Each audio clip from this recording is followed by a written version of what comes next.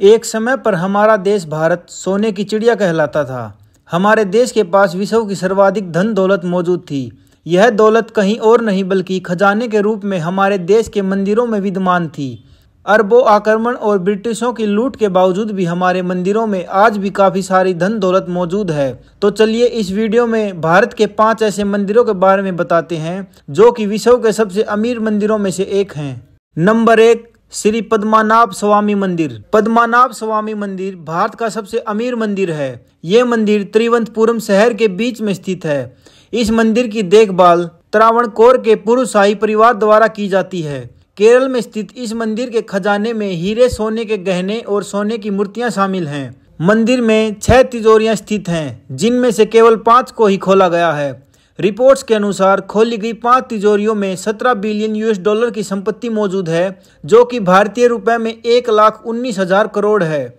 अगर खोले गए खजाने की सही कीमत का अंदाज़ा लगाया जाए तो यह दस गुना बढ़ जाती है, यानी कि 170 बिलियन डॉलर, जो कि अपने आप में काफ़ी बड़ी रकम है। छठी तिजोरी के बारे में कहा जाता है कि उसे एक प्राचीन मंत्र से बंद किया गया है। अगर उसे बिना मंत्र खोला गया तो विश्व में धन के कारण संकट पैदा हो जाएगा। रिपोर्ट्स के मुताबिक इस तिजोरी में पाँचों तिजोरियों से भी दो गुना ज़्यादा खजाना मौजूद है। नंबर दो, तिरुपति बालाजी मंदिर। सूची में दूसरे स्थान पर आंध्र प्रदेश का तिरुपति मंदिर है। भारत में वैष्णव संप्रदाय का मंदिर तिरुपति दान के मामले में दुनिया का सबसे अमीर मंदिर माना जाता है। इस मंदिर की वास्तुकला देखने लायक है। भगत यहाँ पर हर साल 600 करोड़ रुपए का दान देते हैं। तिरुपति मंदिर भगवान वेंकटेश्वर को समर्पित है, जिन्हें विष्णु जी का अवतार माना जाता है।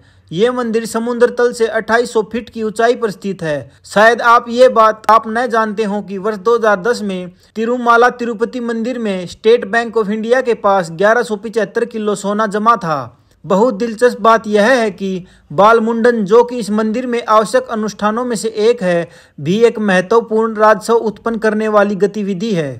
नंबर तीन, शिरडी में साईं बाबा मंदिर। सूची में तीसरे स्थान पर शिरडी, महाराष्ट्र में साईं बाबा मंदिर है। रिपोर्ट्स के अनुसार मंदिर के बैंक के खाते में 380 किलो सोना, चवालीस किलो चांदी और डॉलर पाउंड जैसी विदेशी मुद्राओं के रूप में धन के साथ साथ लगभग 1800 करोड़ रुपए हैं। 2017 में रामनवमी के अवसर पर अज्ञात भगत द्वारा 12 किलो सोना दान किया गया था। इन सब के साथ ही हर साल लगभग साढ़े तीन सौ करोड़ रुपए का दान भक्तों द्वारा आता है। नंबर चार, सोमनाथ मंदिर।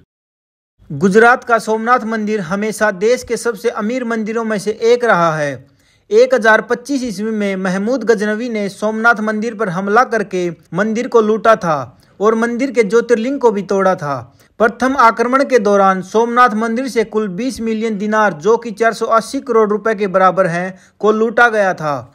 मोहम्मद कासिम फहरिस्ता जो कि एक फारसी राइटर थे, उन्होंने बताया कि महमूद गजनवी ने प्रथम आक्रमण में पाँच मूर्तियाँ भी सोमनाथ मंदिर से चुराई थी, जिनमें से प्रत्येक मूर्ति कीमत लगभग पचास हज़ार दिनार थी।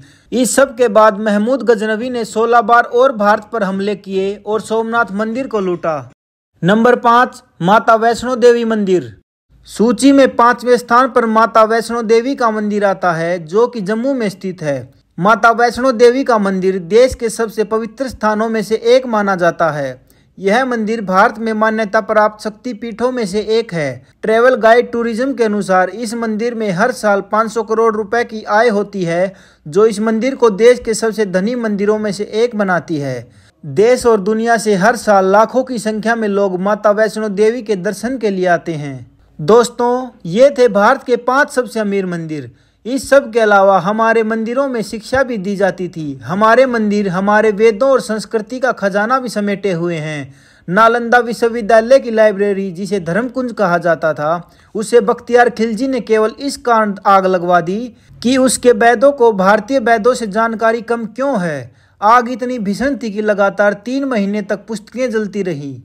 जो लोग भारत को एक कमज़ोर अर्थव्यवस्था बताते हैं उन्हें मैं बता दूँ कि अंग्रेज़ों ने 45 ट्रिलियन डॉलर यानी कि लगभग तीन हज़ार लाख करोड़ रुपए की संपत्ति को केवल भारत से लूटा था। बड़े बड़े देशों की इतनी अर्थव्यवस्था नहीं है जितना हमारे मंदिरों में सालाना दान आ जाता है।